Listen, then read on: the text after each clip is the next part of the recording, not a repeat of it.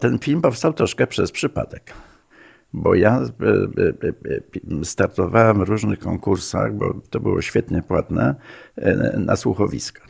No i ja pewnego dnia rano się obudziłem, pamiętam, była to niedziela i zrozumiałem, że ja dzisiaj muszę wysłać słuchowisko na konkurs.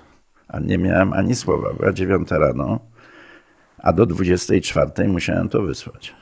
I do 24 napisałem wahadełko.